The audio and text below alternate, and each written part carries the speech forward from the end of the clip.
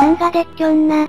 どもども、中年ゲーマーよろさんです。さてさて、12月27日お昼の、12時になりまして、今年もやってきました年越しボスラッシュ2022。ということで早速攻略していくといたしましょう。初日で登場のボスは、サガフロ2イベントで登場した受精。夏の海賊イベントで登場したディープテンタクラー。ハロウィンイベントで登場した神の、3体ですな。ではまず受精との戦いからやっていくといたしましょう。耐性は残がマイナス35、熱がマイナス45となっております。アビリティはなし。スキルは体術と術が、メインといった感じですかね残打突の攻撃がメインで、熱雷用の攻撃がございます。麻痺や未了の状態異常不要、持ってますので、不安な場合は対策を、しておくと良いでしょう。あと、両属性の攻撃が結構痛かったような記憶があるので、残打突だけでなく両耐性もしっかり上げておいた方がいいですな。それでは私の攻略パーティーの、ご紹介。はい、こんな感じのパーティーです。陣形は法天部の陣界配置はこんな感じです。1番にダリアス。ステータスと装備はこんな感じです。武器聖石は斧の達人の聖石をつけております。ドレインアクスを継承。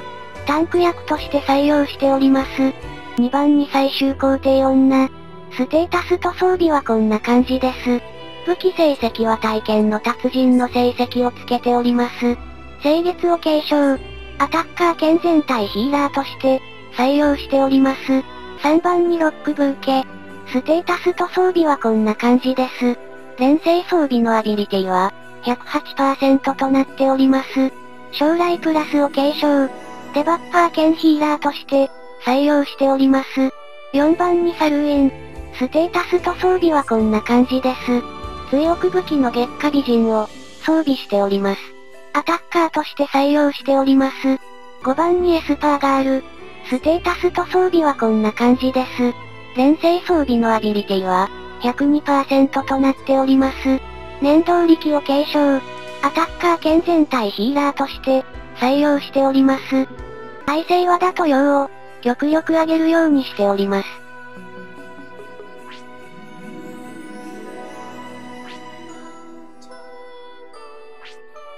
ではでは、以上のメンバーで行ってまいります。行くぞー。まあ言うてもう9ヶ月も、前のボスですからね。そこまでガチランでももう満体だと、思います。1ターン目、ダリアスは、シュバルツェアクスト。女帝様はとりあえず妖月人。ロックブーケは闇の稲玉。サルウィンはマリシャスウェーブ。パガールは、魔女のいたずらで攻撃です。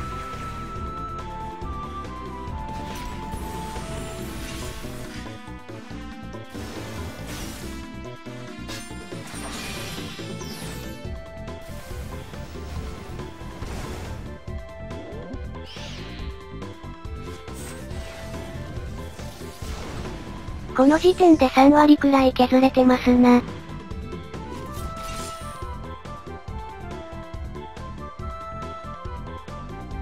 2ターン目、ダリアスはケンプ、女帝様は清月、ロックブーケは、将来プラス、サルウィンはマリシャスウェーブ、パガールは、魔女のいたずらです。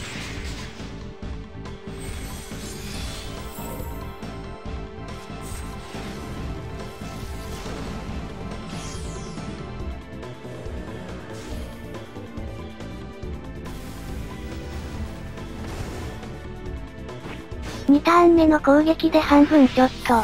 これマリシャスしてたらサルウィンの、出番ないかもですな。せっかくチャージしても出番がなかったら微妙なんで、次のターンからサルウィンは普通に、攻撃します。てなわけで3ターン目。ダリアスは、シュバルツェアクスト。女帝様は幻月。ロックブーケは闇の稲玉。サルウィンはジャエンケン。パガールはいたずらです。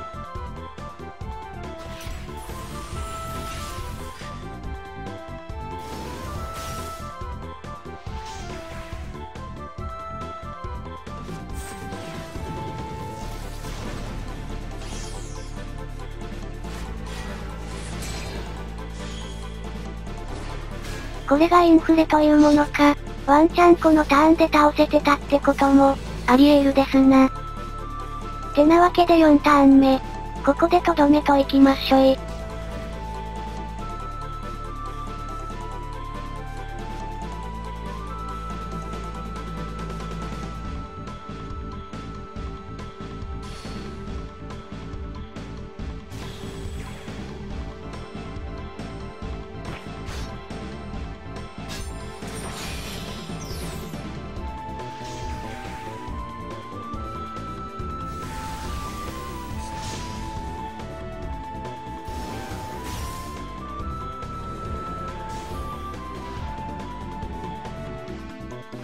最後の最後で無駄連携。オーバーキルで受精撃破でございます。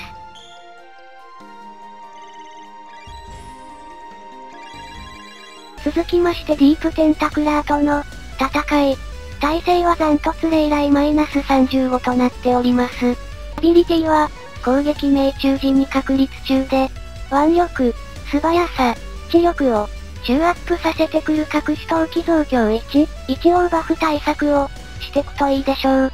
そしてターン開始時に命中特大アップの、制裁4、スキルは直接攻撃と、間接攻撃が半々といった感じでしょうか？だと雷がメインで、ちょこっとレイと残を所持。あと、確か4ターン目と7ターン目に、メールシュトロームを使ってきたかと、思いますので、誰以来の耐性を上げておくといい感じですな。あと長期戦になるとヒートアップやらディフェンスアップを、自身に付与してきたかと思いますので、なるはやで決着を、つけると良きでございます。それでは私の攻略パーティーの、ご紹介。はい、こんな感じのパーティーです。陣形は法天部の陣界配置はこんな感じです。1番にシェラハ。ステータスと装備はこんな感じです。武器成績は体術の達人の成績をつけております。ノクターンを継承。タンク役として採用しております。2番に最終工程女。ステータスと装備はこんな感じです。武器成績は体験の達人の成績をつけております。清月を継承。アタッカー兼全体ヒーラーとして、採用しております。3番にアーニャ。ステータスと装備はこんな感じです。連星装備のアビリティは、105%となっております。エトワールドールを継承。強化解除役として採用しております。4番にサルウィン。ステータスと装備はこんな感じです。強く武器の月下美人を装備しております。アタッカーとして採用しております。5番にエスパーガール。ステータスと装備はこんな感じです。連星装備のアビリティは102%となっております。念動力を継承。アタッカー兼全体ヒーラーとして採用しております。体勢は誰以来を極力、上げるようにしております。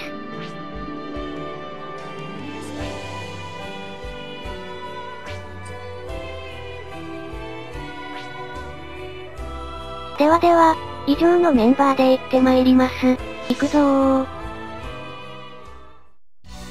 こちらはまだ4ヶ月くらい前の、ボスだったと思うんで、ナメプしてたらワンチャン殺されるかもですな。まあエトワールドール連打してたらまずやられんでしょうが。てなわけで1ターン目。シェラハはソローズソウル。女帝様は両月人。アーニャは1つ。サルウィンはマリシャス。パガールはいたずらしちゃうぞ。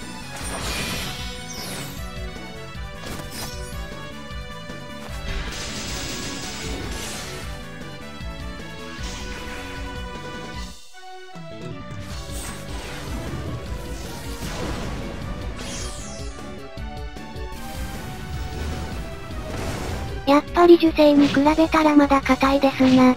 ジェラハはこれがありますからね直接攻撃が多めの敵には、カウンターでも大活躍ですな。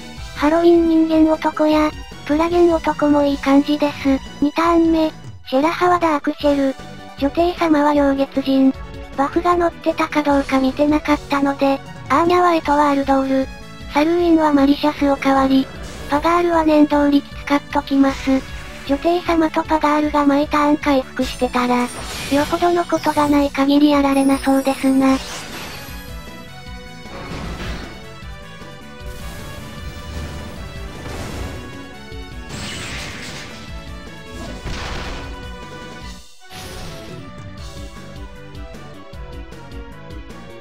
素早さバフが一回乗っただけですかねならえとわらなくてももう満体ですな。3ターン目。シェラハはノクターン。女帝様は清月。アーニャは1つ。サルーインはマリシャスおかわり。パガールはネーンドーリーキーです。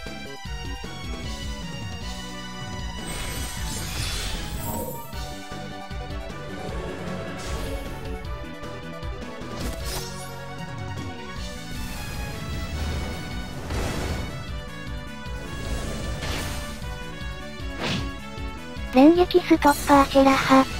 ちなみに連撃してくることは完全に、忘れておりました。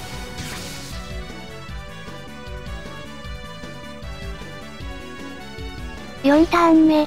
ここからサルーインの本領発揮ですな。さっき暴れられなかった分、しっかり暴れてってくださいまし。シェラハはソローズソウル。女帝様は妖月人。アーニャはとりあえずエトワールドール。サルーインはジャエンケン。パガールは続けて念動力です。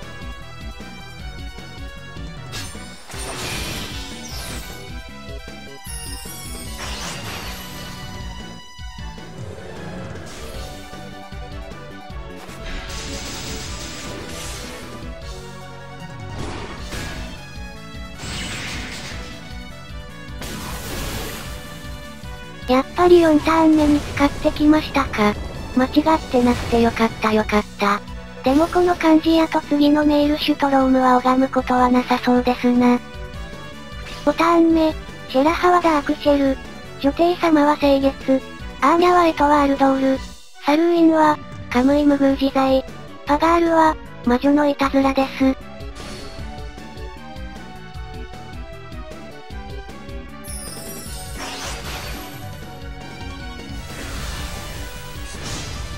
60万。サルーインのカムイムグー自在気持ちよすぎだろ。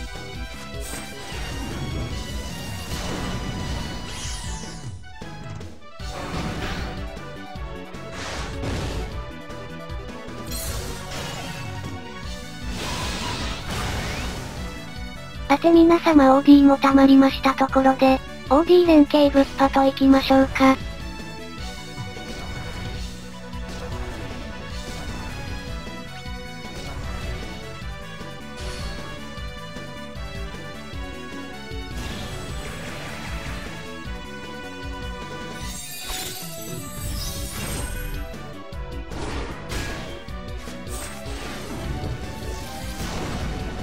このまま終わりっぽいですな。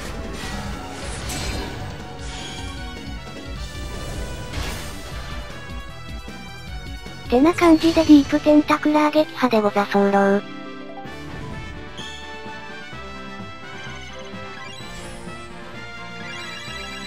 では最後に神との戦い。耐性は残打突マイナス35、インマイナス55となっております。アビリティはターン開始時命中特大アップの、制裁4。ターン開始時知力中アップの、能力向上知力。知力バフに対して対策しておくといいでしょう。スキルはすべて間接攻撃。打熱量が多めで、雷と突属性の攻撃を、所持。打熱量の耐性を上げておくといい感じですな。それでは私の攻略パーティーの、ご紹介。はい、こんな感じのパーティーです。陣形は鳳天舞の陣改。配置はこんな感じです。1番にダリアス。ステータスと装備はこんな感じです。武器聖石は斧の達人の聖石をつけております。ドレインアクスを継承。タンク役として採用しております。2番にアポロン。ステータスと装備はこんな感じです。武器聖石は体術の達人の聖石をつけております。アタッカー兼精神バッファーとして、採用しております。3番にアーニャ。ステータスと装備はこんな感じです。連星装備のアビリティは、105%となっております。エトワールドールを継承。強化解除役として採用しております。4番にサルーイン。ステータスと装備はこんな感じです。強く武器の月下美人を装備しております。アタッカーとして採用しております。5番にエスパーガール。ステータスと装備はこんな感じです。錬成装備のアビリティは、102%となっております。念動力を継承。アタッカー兼全体ヒーラーとして、採用しております。耐性は打熱陽を、極力上げるようにしております。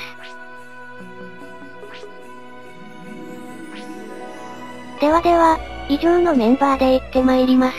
行くぞー。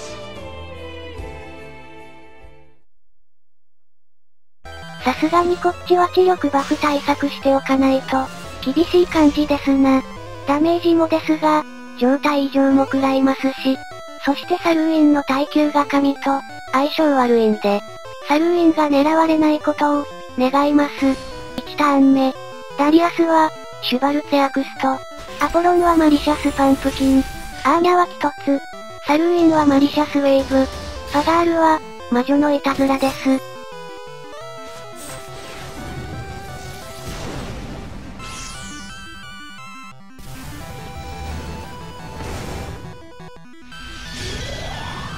やっぱりサルウィンのダメージが、頭一つ抜けてますな。これで模様耐性持ってるんですってよ。奥さん。2ターン目。ダリアスはケンプ。アポロンはマリシャスレンダー。アーニャはエトワールドール。サルウィンはマリシャスを代わり。パガールは念動力を使います。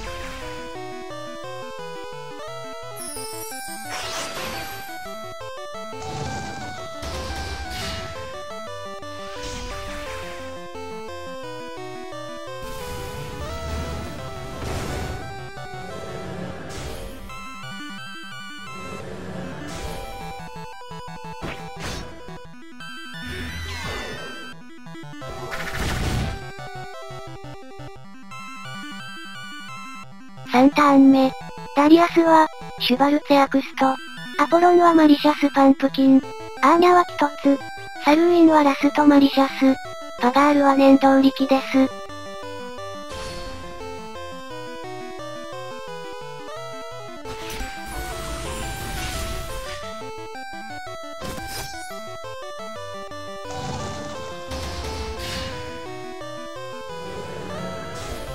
なんかこれまでほとんど追撃してくれてませんでしたが、今回はしっかり発動してくれておりますな。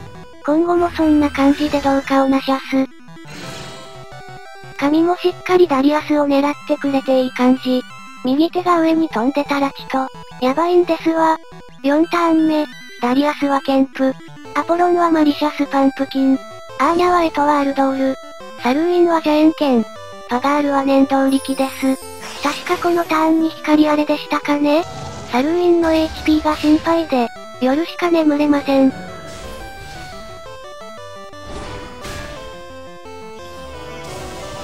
あ、思ったより食らってない感じ。初ターンのフラッシュファイアの、方が食らってますな。精神バフとエトワールドールのおかげですな。では続きまして5ターン目。ダリアスは、シュバルツェアクスト。アポロンはマリシャスパンプキン。アーニャはエトワールドール。サルウィンは、カムイムグー自在。トガールは続けて念動力です。このターンで悔い改めよが、飛んできたと思いますが、この感じならダメージも混乱ももう満体でしょう。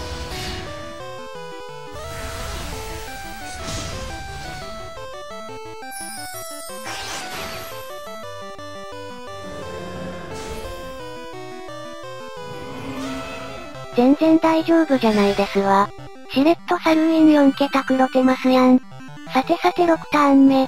皆様 OD 溜まりましたようですので、OD 連携ぶっぱと参ります。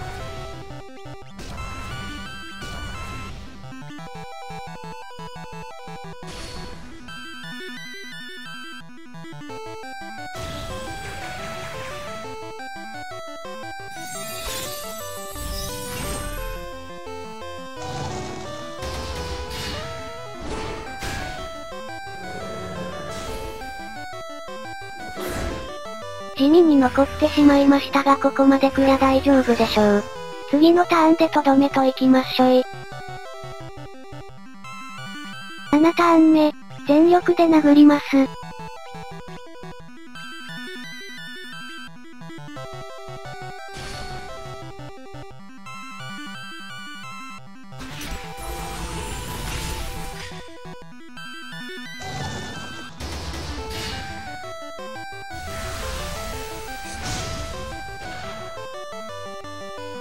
神は死んだ。以上、年越しボスラッシュ2022、初日でございました。それでは、また次の動画でお会いいたしましょう。最後までご視聴いただきありがとうございました。では、